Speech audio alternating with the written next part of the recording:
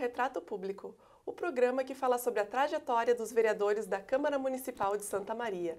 E hoje estamos recebendo aqui nos nossos estúdios o vereador Dr. Francisco Harrison, o Dr. Francisco, do Partido Democrático Brasileiro, o MDB. Seja bem-vindo, doutor Francisco. Obrigada por, por aceitar nosso convite. Obrigado, eu que agradeço o convite de vocês. Então, o doutor Francisco ele é médico, médico traumatologista e foi o 12º vereador mais votado na última eleição, com 2.167 votos. Exatamente. Esse é o seu primeiro mandato, então como é que surgiu a, a ideia, a oportunidade de entrar na política? Assim, a, a ideia que nos move é, foi a indignação com o estado da política, né? no, no, a condição que se encontra a política hoje no Brasil e no estado e também no município.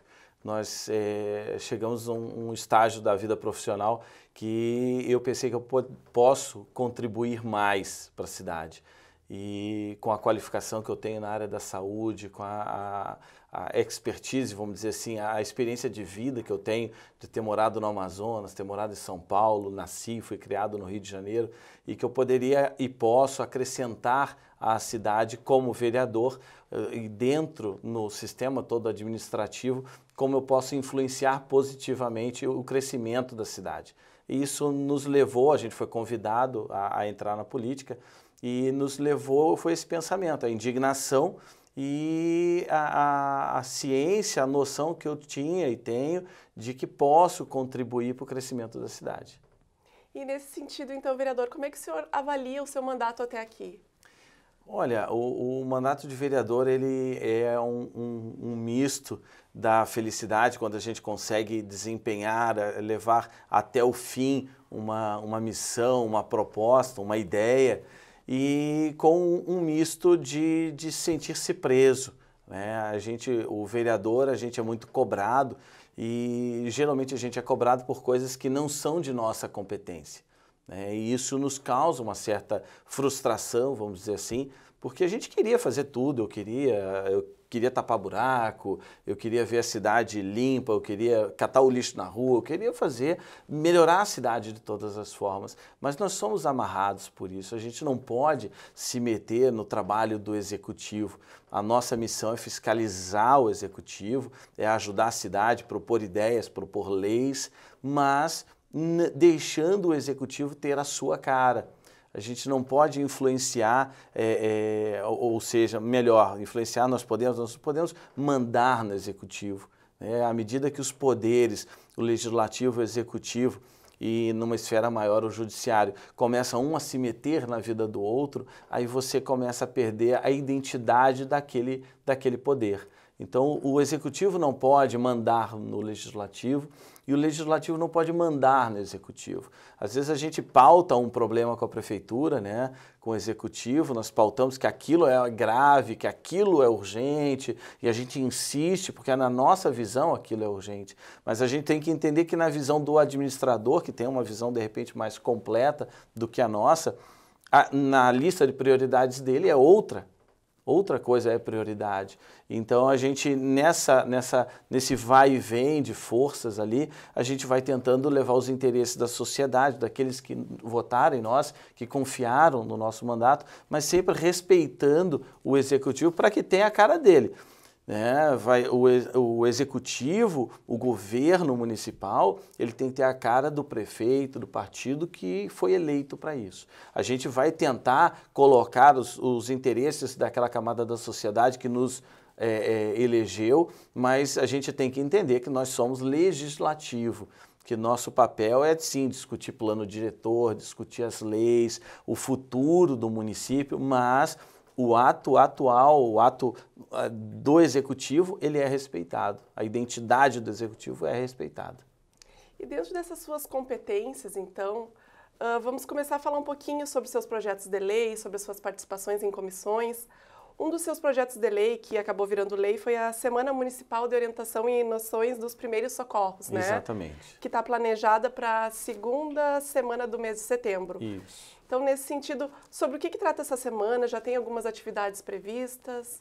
Sim, a gente está é, é, apoiando algumas empresas que são microempresas, são pequenas empresas, são pessoas, enfermeiros, técnicos, que, médicos que trabalham com resgate, com a, as aulas de primeiros socorros, com o APH, que é o atendimento pré-hospitalar, e são várias é, é, pessoas que trabalham nisso na cidade, e a gente está fazendo um grande acordo com eles para que eles venham a fazer uma, uma um, pequenas aulas nos colégios da cidade de Santa Maria. É muito importante esse, essa noção de primeiro socorro, socorros, porque em países da Europa, da Ásia, a criança no colégio já tem noção de primeiro socorro. Ele sabe, a criança sabe o número que ele vai ligar para chamar o SAMU deles lá, o resgate deles. A criança sabe quais são a, as primeiras medidas, no caso de uma queimadura, do pai ou a mãe desmaiar em casa, ele sabe o que proceder. Até porque nós não temos é, é, muita convivência com desastres naturais. E no Japão, por exemplo, a, eles têm o, sempre o risco de terremoto, sempre o risco de maremoto. Então as crianças são doutrinadas para, no caso de um desastre desse, ela saiba como agir. Ela não seja uma, uma, uma como diz, uma barata tonta. Ela sabe para onde ela se protege e onde não protege. E aqui no Brasil, como a gente não tem tantos desastres naturais, a, a gente demora muito a aprender isso. Né? Muita gente está na rua, alguém desmaia e tem gente que ainda bota o dedo na boca da pessoa para não enrolar a língua. Então, pessoas adultas que fazem uma coisa que isso era da época dos nossos avós. Né? Tem gente que quando tem uma queimadura bota borra de café, bota açúcar. Então, assim, são atitudes que se a criança aprendesse no colégio, essa, essa, essas ideias iam morrer e a gente teria um atendimento mais fácil à pessoa vítima de, de, um, de um desastre, de uma, um, um estado doente ali de urgência. Até o médico chegar, quem está junto tem responsabilidade. Ele tem que saber o que fazer.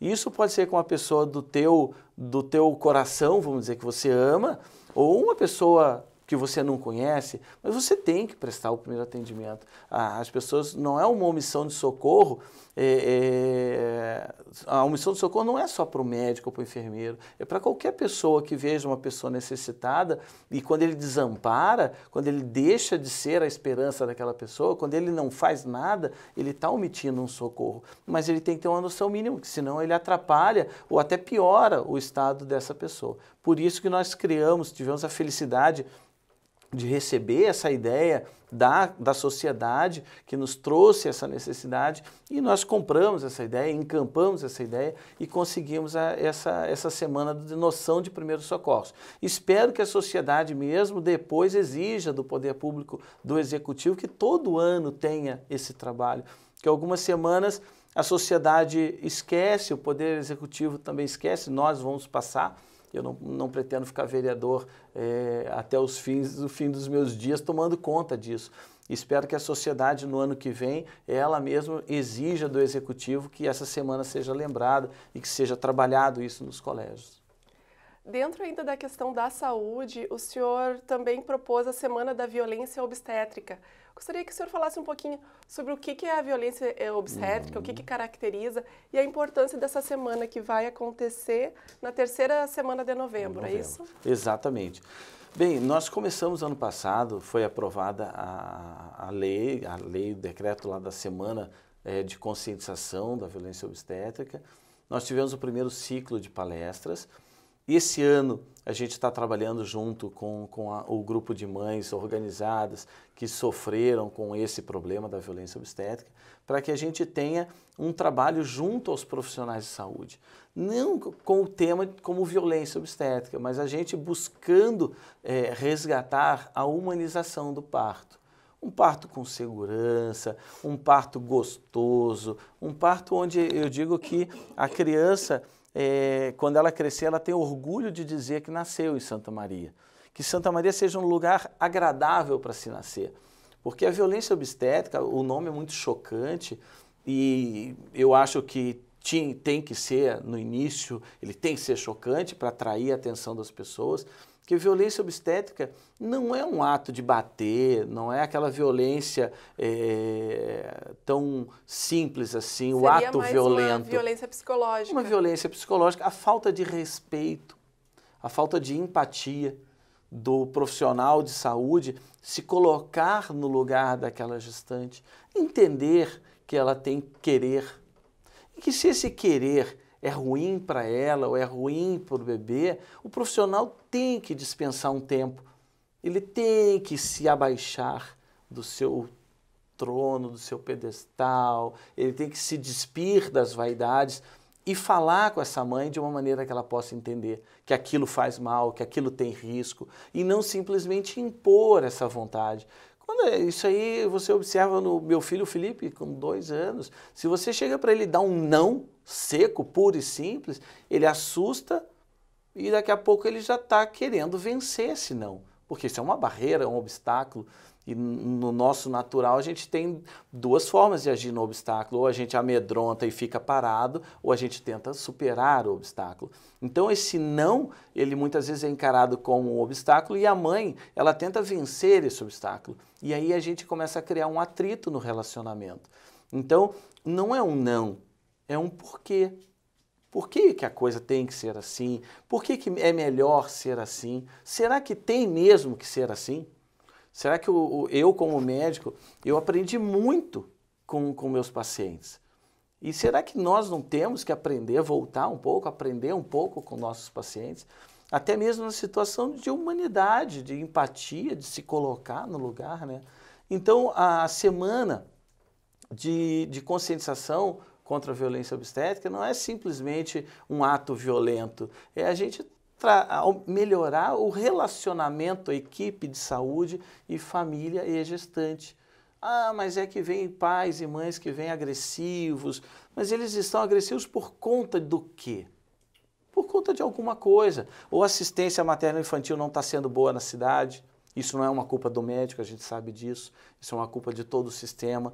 Mas aí a, a, questão do acolhimento tem que reverter essa situação. Não é sendo grosseiro e agressivo o médico, ou a enfermagem, ou a faxineira que está dentro do. ou a recepcionista que está no hospital. Sendo agressivo não vai resolver o problema da agressividade. Né? A gente brinca que se sofrimento corrigisse alguém, nossos presídios recuperariam 100% porque a gente sabe que lá é só sofrimento. Então não é o sofrimento que resolve. Por isso que essa semana, para que haja essa conscientização, esse bate-papo para gente, para que os profissionais de saúde entendam e pratiquem o que a gente aprende na faculdade, que é a empatia. Doutor Francisco, o senhor também uh, uh, levanta uma bandeira da inclusão dos, dos autistas, né? Então, é autor de um projeto de lei que determina uh, uma como é que é? prioridade é? no atendimento. Isso, prioridade no atendimento e uma plaquinha, né, para simbolizar. É. Então, assim, qual a importância dessa lei e, e, e já tem algum impacto? Já está sendo colocada em prática essa lei? Assim, é, nós, nós fizemos a lei exigindo que fosse, que seja colocado nos locais de atendimento prioritário também o símbolo do autismo. Porque a criança é, é ela tem, é um espectro autista, né? hoje o termo correto é o espectro autista. É, ela tem vários graus, vários níveis de, de dificuldades de comunicação, de sociabilidade. E essa criança, muitas vezes a mãe está na fila de um supermercado e se ela entra na fila das prioridades, a, a, quem olha de fora vê, não, a senhora não está grávida, a senhora não é idosa, não tem neném de colo, por que está fazendo aí? E às vezes a, ela é abordada de uma forma um tanto é, agressiva. E a criança acaba se sentindo mal, a criança pode se sentir é, é, invadida pelo tom que a pessoa fala, e, e isso causa um transtorno muito grande para a família. Então o que, que a gente pede? Que tenha o símbolo do autismo. Que aí as pessoas, quem vê, fala, não, mas eu tenho prioridade sim por causa daquele símbolo ali e acabou e a pessoa eh, diminui esses atritos, esses problemas. É, bom seria se fosse uma coisa normal na vida da gente, entender que existem pessoas que têm prioridade, que nós não somos o centro do mundo, que as pessoas também têm pressa, aquela história, né? Se está com pressa, dá passagem. Não tranca a passagem, ah, por que está correndo? Então, assim, são coisas que seria bom se a nossa sociedade fosse diferente. Mas, infelizmente, nós não somos assim na, na grande maioria. Então, nós dependemos de um símbolo para que essa criança seja atendida sem problema, a família não seja constrangida por outra pessoa. Isso nós esperamos que o executivo também faça essa prioridade nos órgãos públicos, tipo nos atendimentos de saúde, na farmácia é, municipal, que tenha essa mesma prioridade, porque são locais que a mãe ela não tem muitas vezes onde deixar a criança, não tem como deixar com alguém às vezes, e ela tem que levar naquele local e a prioridade agiliza essa criança, ela é perturbada por sons, por, pelo, por luzes, às vezes o ambiente não é um ambiente bom para ela, não se sente bem e ela começa a se agitar porque não tem a prioridade. Então, espero que o executivo até o fim do ano também amplie pra, para os órgãos públicos, porque o gasto é mínimo, um adesivozinho com o símbolo do autismo não, não é uma coisa que vai encarecer o nosso orçamento e muito necessário. Certo, doutor Francisco, vamos fazer um rápido intervalo e voltamos falando mais sobre os seus projetos. Ok. Então, voltamos daqui a pouco, fique conosco, até mais.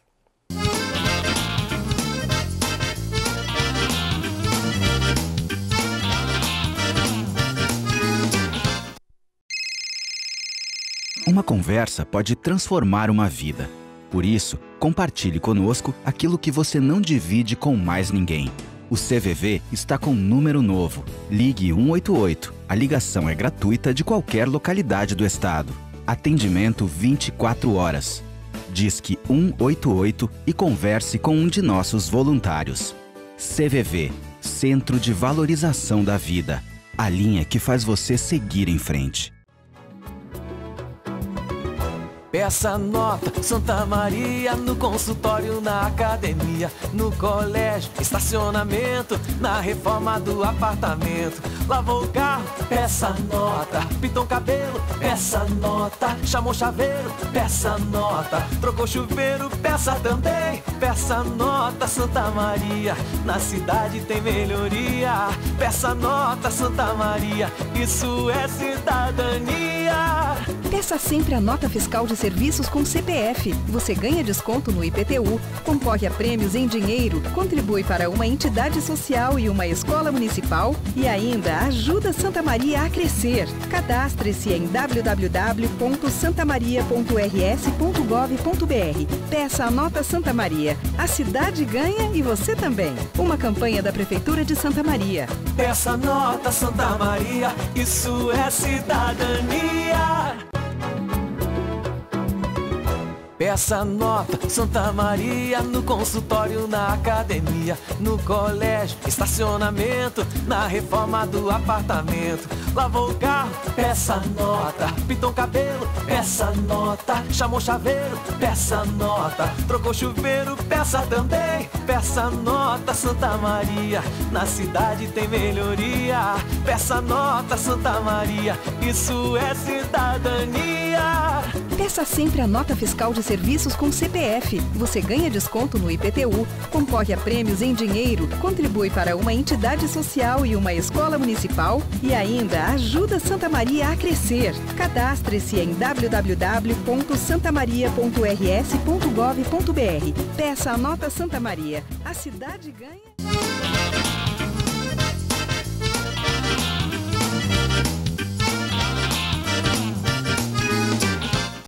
Estamos de volta com o Retrato Público. Hoje estamos conversando com o vereador Dr. Francisco Harrison. E, Dr. Francisco, voltando aos seus projetos de lei, uh, o senhor é autor da lei complementar que trata dos pets, que até foi polêmica aqui na Câmara, causou alguma, algum, alguma, algum constrangimento, assim. E qual a importância dessa lei? Os, os estabelecimentos já estão adotando?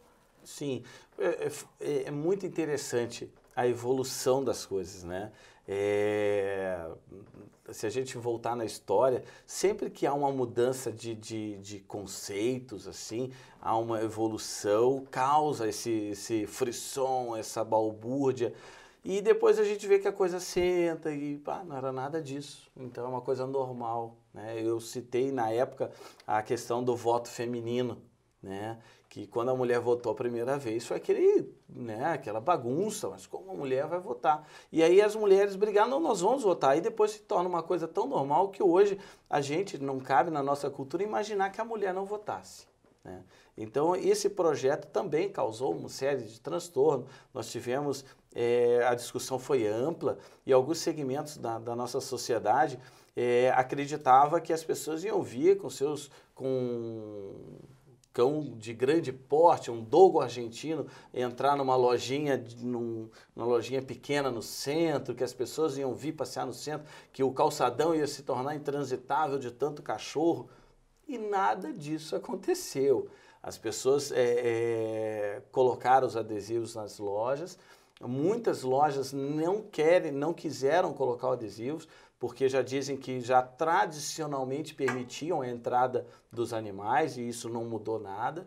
É, no shopping, nos shoppings tem os adesivos restringindo as áreas, a setor de alimentação. Não tenho relato, não ouvi falar, e eu tenho contato com, com, com os comerciantes é, dos shoppings, e não tive relato de nenhum problema né? Isso pode acontecer, claro, pode acontecer problema. Nós temos problemas de, casa até o trabalho, passando pelo trânsito, tudo. Então poderia ter, mas não tivemos nenhum problema, nenhum contratempo. Hoje é uma realidade.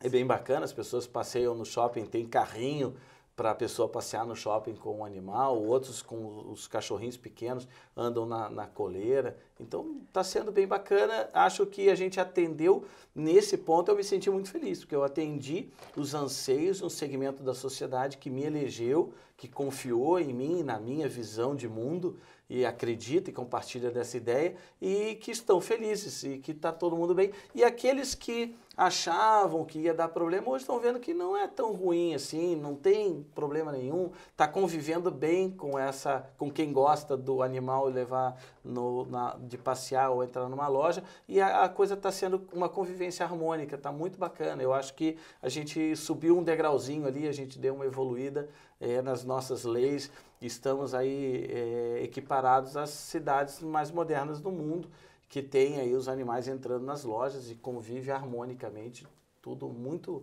muito bonito, muito legal. Até porque hoje os animaizinhos são parte da família, né? Exatamente. O gatinho, o cachorro não, não, desgrudam dos donos. Tem muita gente que mora sozinho e o animal é o único é, é, companheiro. E aí ele sai para dar um passeio, lembra que tem que pagar uma conta na lotérica, como é que ele não pode entrar na lotérica? Então, ele pega o cachorrinho no colo, entra na fila, paga a sua conta e as pessoas já estão olhando isso com uma normalidade muito grande, assim. Ninguém fica pensando assim, pá, mas quem foi o vereador que fez essa lei? Não, ficou uma coisa tão normal, tão bacana, tão assim, parece que sempre foi assim. As pessoas não estão. Ninguém mais vai no shopping e, e, e vê um cachorro e pensa, oh, mas tem cachorro aqui dentro, será que pode? Não, todo mundo. Ah, que legal, né? Tem um cachorro bacana. Não, tá bem bacana, bem legal. Estou muito feliz com isso. Que bom. A questão também dos fogos de artifício, né? Foi formada uma comissão aqui na Câmara, do qual o senhor faz parte, Isso. que vai tratar sobre a proibição dos fogos de artifício com estampidos, Exato. né? Os fogos de artifício também fazem mal para os cachorrinhos, não só, né? Também, Sim. como o senhor levantou na tribuna, para os autistas, para os idosos. Exato. Então, como é que tá, vai ser esse trabalho da comissão? É, assim, essa, a, as boas ideias, a gente não a gente não pode querer ser o iluminado do mundo, né? Nós tivemos essa ideia, entramos com o projeto e o vereador Jorjão já tinha entrado com esse projeto, né? É, me congratulo e, e, bato palmas, aplaudo o, o, trabalho do vereador Jorjão, que entrou com esse projeto antes de nós, e agora nós estamos trabalhando juntos, é, junto com o vereador Maneco, junto na comissão para que isso, esse projeto também seja estudado, levado à sociedade, aos comerciantes, ao público em geral, à comunidade, para que seja feito, seja feita a lei de acordo com a vontade da população. É, hoje é, eu ressalto que não só os animais sofrem com os fogos de estampido, mas também diversas pessoas que têm idosos com demência, idosos com Alzheimer, é, pessoas com deficiência mental, ou as crianças do, do espectro autista, adultos que têm, a criança com espectro autista vira um adulto que também tem esse, esse problema com barulhos, com som alto, com os estampidos que são agressivos. Então, isso tudo tem uma série de, de problemas, né? A questão das pessoas que estão internadas em hospitais. Eu acho, eu particularmente, acho muito bonito o show pirotécnico e acho totalmente dispensável o barulho. Eu acho que o show fica lindo com luzes e sem barulho, o barulho não, não me faz muita diferença. Confesso que é uma coisa se conversar num grenal não soltar fogos, é, vamos dizer, a corneta fica uma cornetinha mais baixa, né? Mas é uma coisa se conversar com quem torce, com quem é torcedor, como é que a gente resolve isso, como é que você vai cornetear o teu, o teu adversário ali do futebol sem soltar os fogos, os fogos com estampido. Mas é uma coisa que a sociedade vai discutir e esse processo democrático é muito bacana, é muito legal. A gente não encara como derrotas, não cria rugas de quem discorda da gente, mas a gente cresce com isso. A gente tem que entender o lado do outro para a gente fazer uma lei que atenda à sociedade nas suas necessidades. Um pouquinho do seu trabalho nas comissões. O senhor é presidente da Comissão de Políticas Públicas, Sim. Né, que tem uh, organizado diversas audiências públicas nos bairros da cidade. Sim. Então, gostaria que o senhor falasse um pouquinho sobre esse trabalho, sobre as audiências públicas, a importância Sim. da participação da população nesse processo. É, assim, o, o, políticas públicas, quando a gente fala em políticas públicas, a gente fala em olhar público. Como o executivo está olhando a cidade, está olhando as necessidades da cidade, para ficar mais fácil de entender. Então, quando a gente faz, é, vai ter, vai ser criado um condomínio do Minha Casa Minha Vida, por exemplo, nós tivemos uma audiência no bairro Diácono Pozobon, vamos ter mais duas agora no início de agosto. A prefeitura olhou, o executivo olhou, achou que ali pode, ficaria bom construir casas populares ali. Esse olhar ele tem que ser um olhar amplo. Ele tem que ver onde essas pessoas vão ser atendidas no sistema de saúde, postos de saúde, uma equipe de ESF que vai acompanhar aquilo ali. As linhas de ônibus têm que oferecer mais carros, diminuir intervalo ou ter uma rota especial por causa daquelas pessoas. Constrói 460, 500 casas de uma vez. Bota quatro pessoas em cada casa, se forem 500 casas, vai a duas, mil pessoas. É um então muda, impacto. é um impacto no local. O esgoto, onde é que vai ser jogado, questão de enchente. Você constrói, aí você constrói o condomínio muito alto, alaga a casa vizinha. Se você constrói baixo, ali alaga. É a drenagem, uma sanga que passa perto. Então o olhar do executivo tem que ser um olhar muito amplo. Por isso deve ser discutido com a sociedade que está ali naquele local. Infelizmente as pessoas não vão à audiência pública. Nós tivemos essa última, tinham sete pessoas só. Num bairro enorme que tem um monte de dificuldades, que sofre bastante e que as pessoas estão realmente desanimadas elas não estão querendo discutir, mas essa discussão ela é imprescindível. Ela fica no mínimo registrada em ata que foi levantado aquele problema pela sociedade e responsabiliza o poder público se aquilo foi levantado e não foi solucionado. Amanhã o Ministério Público tem como acionar o executivo porque não ouviu aquela audiência pública que era para ouvir e ele não ouviu a sociedade. Agora, se o poder público faz uma audiência pública e vão sete pessoas e a discussão é limitada, então não cumpriu o seu papel de ouvir. Mas o direito foi dado à sociedade de ouvir, de, de falar. Para ser ouvido, tem que falar, tem que participar. Então, na Comissão de Políticas Públicas, a gente tem buscado muito o apoio e a participação da comunidade. A gente sabe que tem gente que, ah, eu estou cansado de falar desse problema, mas a gente tem que continuar falando. A gente não pode se calar diante dos problemas, porque senão ele não vai ser resolvido. Se você que está sendo incomodado por aquele problema não falar, aquele que não está sendo incomodado pelo problema não vai falar por ti e vai se resolver outros problemas. O executivo vai virar, não, esse, esse buraco, vamos dizer assim, essa sanga não está incomodando, eu vou resolver aquele ali que está falando, que está gritando, porque está incomodando alguém. E aquela, aquela sanga ali não está incomodando. Então você tem que participar. Quando tem uma audiência pública no teu bairro, você tem que ir, você tem que participar, tira uma hora. Não tem audiência pública toda semana. Então, quando tem, tira aquela horinha, é uma hora, uma hora e meia no máximo, tira e vai lá discuta. O seu vereador deve estar lá participando. Ah, os secretários de governo, vários vão estar presentes, para que seja realmente discutido o problema e amanhã a gente não fique, poxa, ninguém viu isso, ninguém viu aquilo, mas a participação popular foi negligenciada, porque não foram na audiência. Então, eu sempre incentivo essa participação da população junto ao poder público, dizendo o que, que ela quer. Perfeito. Uh, no ano passado, o senhor presidiu a Comissão de Saúde e Meio Ambiente. Como é que Sim. foi essa experiência? Olha, foi um trabalho muito bom. A gente é, teve condições de trabalhar junto com o público interno da saúde, os funcionários que trabalham, os funcionários municipais e prestadores que trabalham junto na saúde do município. Tivemos a oportunidade de, de, fiscalizar, de trabalhar junto com a administração pública, resolvendo alguns problemas, tipo falta de linha telefônica para marcação de consulta, filas, é, atendimentos que não estavam sendo, as, o agendamento como era feito e como é feito hoje.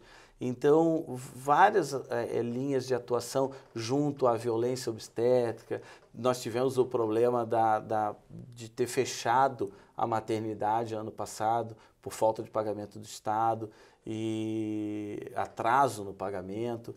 Então, a gente passou, nós atuamos várias vezes, tivemos várias intervenções e eu me sinto muito feliz porque a gente conseguiu resolver os problemas que, mais uma vez, a gente não tem como melhorar a saúde no legislativo, mas a gente tem que fiscalizar e a gente tem que atuar quando um problema se agrava ou com algum problema que não está sendo é, efetivamente não está sendo prestado serviço à sociedade.